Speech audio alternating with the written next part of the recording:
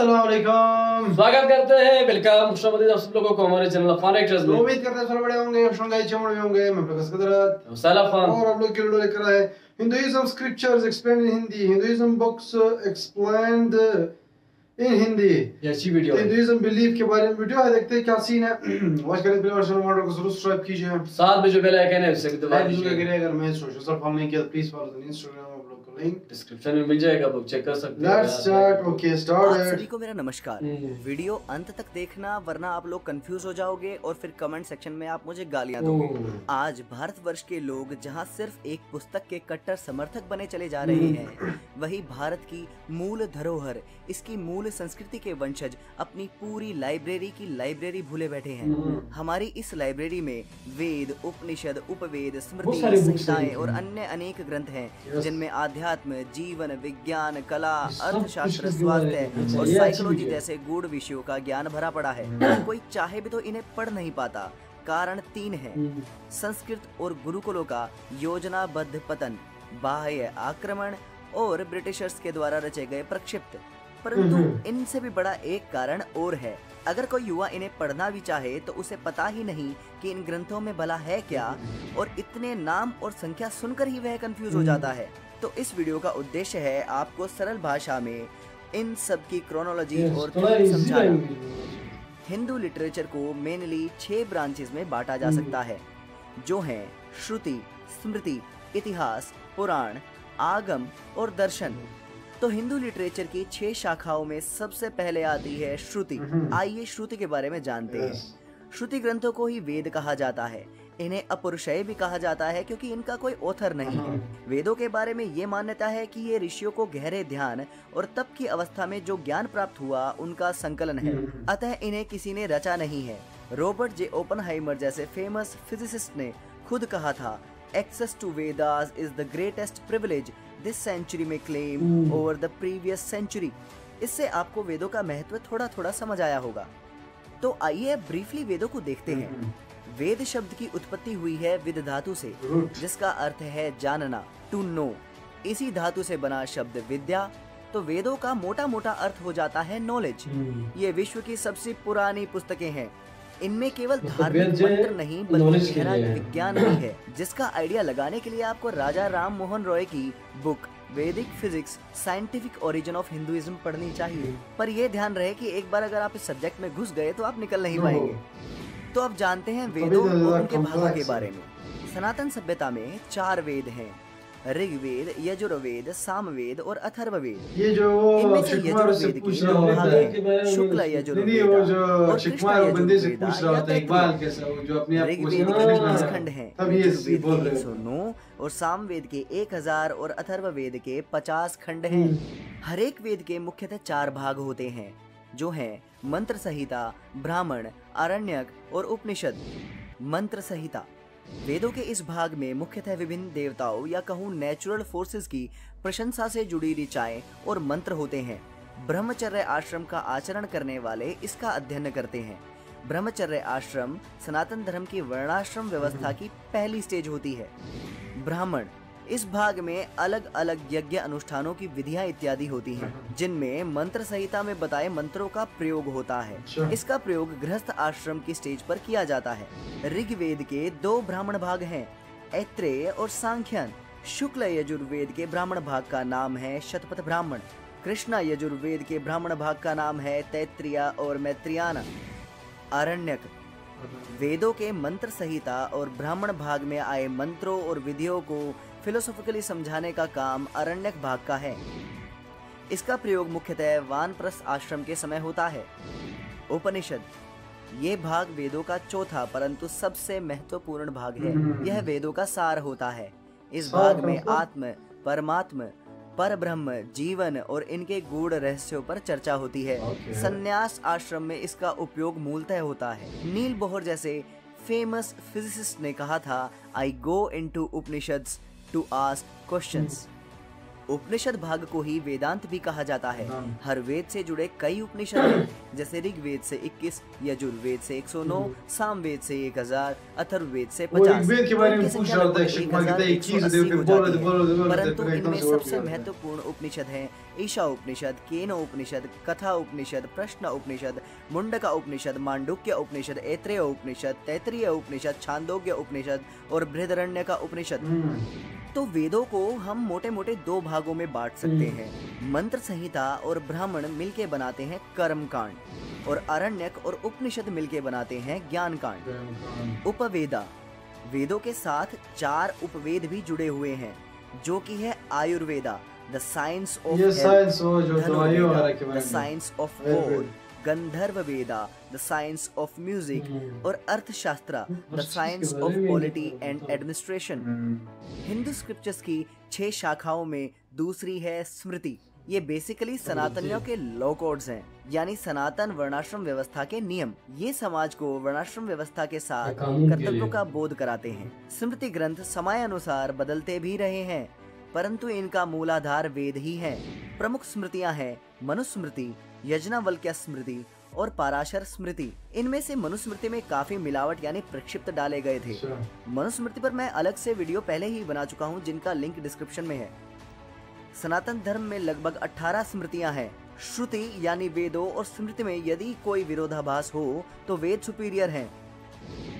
सनातनी स्क्रिप्चर्स की छह शाखाओं में तीसरी है इतिहास। इतिहास। का मतलब होता है दैट विच हैपेंड तो सनातन सभ्यता चार इतिहास। हैं। वाल्मीकि रामायण हम्म, योग वशिष्ठ हरिवंशा और महाभारत। वेदों में आए मिस्टिकल और फिलोसॉफिकल ट्रुथ्स ने जब घटनाओं का रूप लिया तब वो इतिहास बन गए। दो सबसे प्रसिद्ध इतिहास या कहें महाकाव्य हैं रामायण और महाभारत जहाँ रामायण आपको भक्ति शौर्य और राइचियसनेस का ज्ञान देती है।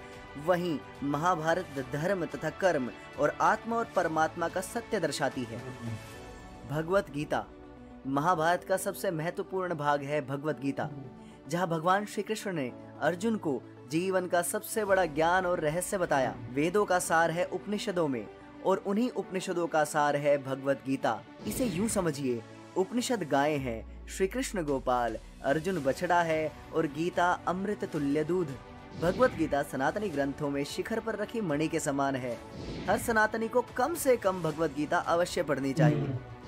सनातनी स्क्रिप्चर्स की छह शाखाओं में चौथी है पुराण। पुराण। वेदों को पूर्ण करते हैं। उनमें वर्णित ए, घटनाएँ दलाल। वेदों के सत्य के प्रति पढ़ने वाले में रुचि उत्पन्न करती है। वास्तव में वेदों को समझना बड़ा कठिन है। इसी कार्य को सरल बनाते हैं पुराण और उनमें आई घटनाएँ। सनातन सभ्यता में 18 पुराण हैं जिनका उद्देश्य वेदों में कोडेड और मिस्टिकल सत्य को जन साधारण तक रुचिकर तरीके से पहुंचाना है। पुराणों में सबसे प्रसिद्ध है श्रीमद् भागवत पुराण। पुराणों से जुड़े 18 उप पुराण भी हैं। हिंदू स्क्रिप्चर्स की छह शाखाओं में पांचवी है आगम। आगम में तंत्र, मंत्र और यंत्र वर्णित हैं। आगम आपको जानकारी देते हैं ध्यान, क्रिया योग आदि के बारे में। ये मुक्ति, भक्ति, मंत्र मिस्टिसिज्म स्पेल्स टेंपल बिल्डिंग आदि की जानकारी भी देते हैं। आगम के तीन भाग हैं। शैव, वैष्णव और शक्त। शैव भगवान शिव से जुड़े हैं। वैष्णव भगवान विष्णु से जुड़े हैं और वहीं शाक्त माँ भगवती आदि शक्ति से जुड़े हैं। हिंदू स्क्रिप्चर्स की छह शाखाओं में छठी है दर्शन। सनातन धर्म के छह दर्शन शास्त्र या छह फिलोसॉफिकल डिविजन्स हैं। साधारण शब्दों में छह जीवन दर्शन या छह स्कूल्स ऑफ़ थॉट्स कहें। School of thoughts. इनका प्रयोग मुख्यतः सोसाइटी के लर्नेड लोग करते हैं। मतलब ये छह कुछ इस प्रकार हैं। गौतम ऋषि का न्याय दर्शन गणाद ऋषि का वैशेषिक सूत्र कपिल मुनि का सांख्य महर्षि पतंजलि का योग दर्शन जैमिनी का पूर्व मीमांसा और भद्रायण का उत्तर मीमांसा। तो सनातन धर्म के छह दर्शनों में पहला दर्शन है न्याय। न्याय दर्शन कहता है कि किसी भी सिद्धांत या कथन को तब तक स्वीकारा नहीं जा सकता जब तक वो अनुभव और तर्क पर खरी न उतरे। इसमें साइंटिफिक अप्रोच और लॉजिकल थिंकिंग से नॉलेज अटेन करने का रास्ता वर्णित है। सनातन धर्म के छह दर्शनों में दूसरा है वैशेषिक सूत्र। वैशेषिक सूत्र का आधार है कि सभी वस्तुएँ जो कि भौतिक जगत में हैं, वे अंततः एटम्स से बनी हैं और ब्रह्म उनके पीछे की ऑपरेटिंग कॉन्शियसनेस है। छह दर्शनों में तीसरा दर्शन है सांख्य। सांख्य। दर्शन वैसे तो सभी दर्शनों में सबसे पुराना दर्शन है। अच्छा। इसका आधार है कि संसार और पूरी रियलिटी पुरुष और प्रकृति की देन है। पुरुष या कहे पर ब्रह्म कभी नहीं बदलता। वहीं प्रकृति परिवर्तनशील है। सनातन सभ्यता के छह दर्शनों में से एक दर्शन है योग दर्शन। यह छह दर्शनों में सबसे प्रचलित दर्शन है। इसमें अष्टांग योग के माध्यम से मुक्ति प्राप्त करने का संपूर्ण वर्णन है। इसके बाद छह दर्शनों में आता है पूर्व मीमांसा। यह दर्शन न्याय दर्शन और वैशेषिक दर्शन को साथ लिए चलता है। इसमें वेदों को इटरनल और सारे ज्ञान का केंद्र बताया गया है। इसके अनुसार वेदों में निहित कर्तव्यों का पालन करना ही धर्म है। सनातन धर्म के छह दर्शनों में अंतिम दर्शन है उत्तर मीमांसा। इस दर्शन को वेदांत के नाम से भी जाना जाता है। यह उपनिषदों पर आधारित है। यह दर्शन स्वयं छह और शाखाओं में विभाजित हो जाता है। आदि शंकराचार्य का दिया हुआ अद्वैत फिर आता है रामानुज का विशिष्ट अद्वैता। माधवाचार्य का द्वैता निम्बर्ग का द्वैत अद्वैता और वल्लभाचार्य का शुद्ध अद्वैता और उसके बाद आता है चैतन्य महाप्रभु का दिया हुआ अचिंत्य भेदा अभेदा। तो चार वेद, चार उपवेद 108 उपनिषद, संहिताएँ, ब्राह्मण, अरण्यक 18 स्मृति ग्रंथ, चार इतिहास, भगवत गीता, तीन आगम और छह दर्शन शास्त्र होते हुए भी आप सनातन धर्म के अध्यात्म और विज्ञान को यदि ना जान पाए तो आपको विचार करना चाहिए। और हाँ चिंता ना करें, क्योंकि सत्यमेव जयते। जय श्री हरि।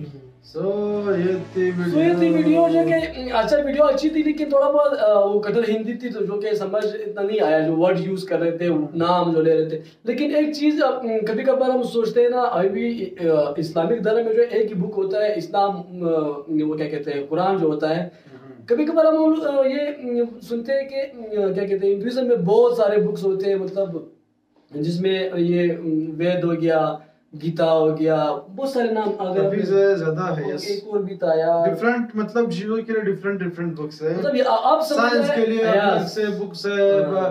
जिस तरह आयुर्वेदा है ये ये जो साइंस के बारे में है ये हेल्थ के बारे में इसके लिए अलग अलग बुक्स है। इतिहास के बारे में भी अलग अलग बुक्स देखिए ये बहुत ही अच्छी बात है कि यार बुक्स की यार बुक्स की जो अपना अपना एक वो टॉपिक होता है कि इस बुक्स में आपको ये सब कुछ जो सीखने को मिलेगा या देखने को मिलेगा या आप जो है इस सब कुछ पता कर सकते हो सीख सकते हो तो ये चीज़ आप पता वैसे से पत, पहले तो मुझे बिल्कुल पता नहीं था कि ये इतने सारे मुझे लगा ये सारी जो बुक्स है वो यही धर्म के बारे में हुए इनके- Yes. जो इनके जो गार्ड्स गुजरे हुए हैं, उनके बारे में होंगे उनकी जो मतलब लाइफ है उनके बारे में कुछ ना कुछ मतलब बताया ये ज्ञान वगैरह। डिफरेंट लेकिन ये जो जो गैलेक्सी। जो यूनिवर्स है उसके बारे में है हेल्थ के बारे में है साइंस के बारे में है योगा के बारे में है इसी तरह जो है आती है इतिहास के बारे में है। मतलब जो ह्यूमन की जो लाइफ होती है ना उसकी कंप्लीटली उसके जितने भी मतलब पार्ट्स होते हैं सब यहाँ पे जो है तो ये काफ़ी अच्छी एक्सप्लेनेशन की हुई थी इस बंदे ने काफ़ी एक एक कॉम्प्लेक्स अभी भी थोड़ा बहुत समझ आया पूरा कॉम्प्लेक्स टॉपिक था जो कि हमें तो इसके बारे में इतना पता नहीं चलता है लेकिन जो इस इस रिलीजन के रिलेटेड लोग लाइक हिंदूज है हम्म। उनको इसके बारे में काफ़ी अच्छी नॉलेज होगी। बट ये था कि काफ़ी यू नो डिफरेंट फील्ड्स के चीज़ों के स्क्रिप्चर्स के बारे में इसमें बताया गया था। अच्छी वीडियो थी हमें बहुत पसंद आया मैं लोगों ने भी एंजॉय किया होगा अगर एंजॉय किया तो प्लीज़ वॉच फॉर एक्टर्स साथ में जो पहले है ने उसे भी दबा दीजिए। लाइक करें तो मज़े के सपोर्ट रहे। है सो अभी के लिए इतना ही। अल्लाह हाफिज बाय बाय